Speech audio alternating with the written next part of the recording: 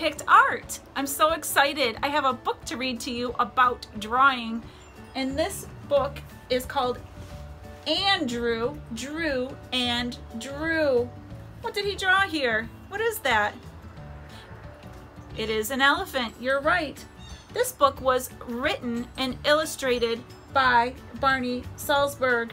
That means he wrote the words, he's the author, and he drew the pictures. That means he's the illustrator. It is called Andrew Drew and Drew. So let's get started.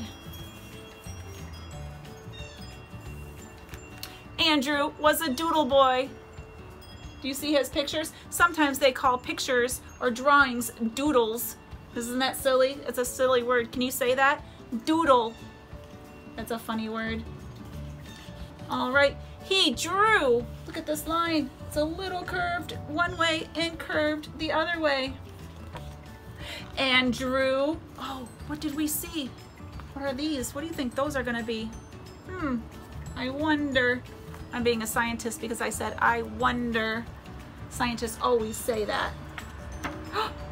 and drew, what is it? There's a couple things going on there. I hope that pig skateboards pretty fast so he can get out of that alligator's mouth. Andrew never knew. Look at, he's drawing this. What do you think this is? It's a little jagged. Oh, and he's sitting on it. Hmm.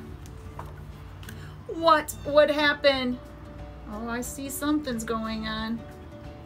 What did you think that was? I wonder if it is what you thought it was and what I kind of thought it was stairs. Did you think it was stairs? Let's see. when he began, it looked like stairs at the beginning, but now what is it? Kind of looks like a dinosaur. He began with nothing. Look at this, it's called a blank page. He has nothing on his paper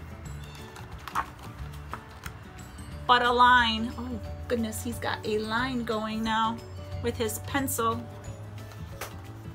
And before he knew it, what is that?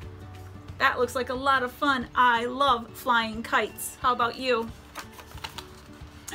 Ideas would start to fly. It was a kite and now what is it? It looks like a spaceship, a rocket ship. Andrew thought that making a drawing, ooh, I wonder what those are was like making magic. Look at that, he has a hat with a rabbit coming out of it. And over here, he's got a lot of rabbits that he drew. He drew things that he saw.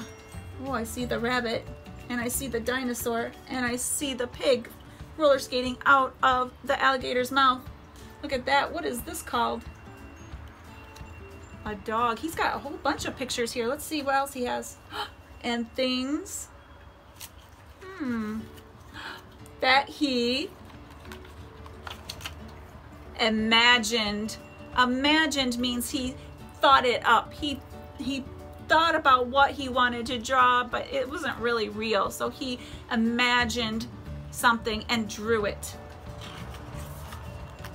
Sometimes Andrew drew nothing at all just a line, a little squiggly line.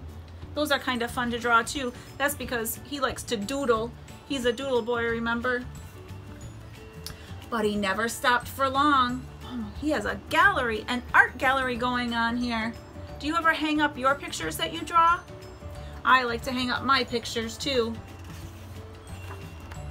Andrew doodled and doodled. Remember, doodled means drawing. He doodled and doodled. Sometimes he noodled. When you're noodling, you're thinking. That's what noodling means. And cockadoodle doodled. Look what he made. He made a rooster. When night drew near, as it always does, Andrew knew. Ooh, I wonder what that's gonna be. There would always be more to draw tomorrow. I love that drawing. That must be imagined. I don't know if I know a creature like that. So he created this creature. I love it. All right, this is the end of the book. This was this must be the author when he was a little boy. He's doodling. I wonder if this book is about him. I don't know, maybe. We'll have to look him up, I think. All right, now that I read this book, I want you to go into your pencil box and grab your pencil and grab your journal from your bag because your journal is going to have paper inside of it. When you open it up, choose the first page and I want to see what you doodle with your pencil today. All right, friends, go have fun, draw your picture, and have your parents share it with me. Bye.